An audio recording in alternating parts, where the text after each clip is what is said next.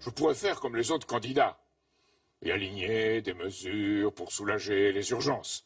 C'est vrai, il y a de terribles urgences. L'emploi qui disparaît, la souffrance au travail, le logement qu'on attend, l'éducation qui trop souvent trie, le handicap qu'on ignore. Mais je ne veux pas vous mentir. Tant que notre pays sera sous occupation financière, les promesses resteront des slogans électoraux et nos batailles seront perdues. On vous dit partout que les caisses sont vides, que nous sommes endettés jusqu'au cou.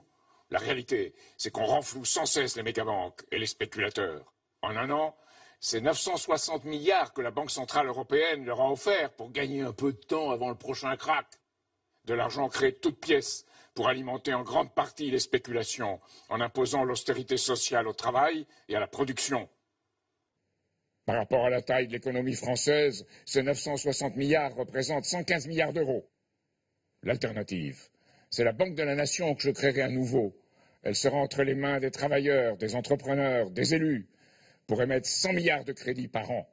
C'est moins que 115 milliards. On ne pourra donc pas dire qu'on dépense sans compter. Chaque centime sera ainsi orienté pour répondre à vos besoins et à votre avenir, et non pour nourrir de nouvelles bulles financières.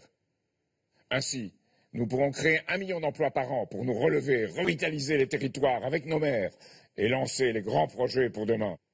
L'exploration spatiale, l'aménagement des océans, le développement de l'Afrique et la fusion thermonucléaire contrôlée. C'est un pari sur l'avenir que je fais. Ce que nous offrirons aux générations futures permettra de faire redémarrer l'économie aujourd'hui et rembourser le crédit demain. L'État doit contrôler la monnaie, sans quoi les possédants de la monnaie continueront à contrôler l'État. Nos dirigeants sont soumis à un adversaire qu'aucun n'a osé affronter.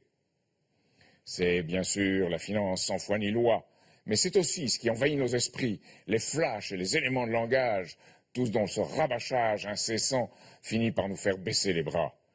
Je me bats au contraire pour que ce soit mieux demain, car c'est en levant la tête du guidon, dès aujourd'hui, qu'on arrêtera de foncer dans le mur. Je me bats pour une France du numérique, de la 3D, de la robotique, d'une culture de la vie et de la découverte qui rendent l'art et la science au peuple. Je me bats pour qu'on offre aux jeunes l'estime de soi plutôt que la peur de mal faire. Beaucoup parmi vous, écœurés, veulent s'abstenir, voter soi-disant utile ou aveuglés par la colère, voter contre leurs propres intérêts. Allez sur notre site Cheminade 2017. Je fais le pari que beaucoup d'entre vous voteront alors pour moi, pour nos idées, car ils verront comment les David peuvent battre les Goliaths.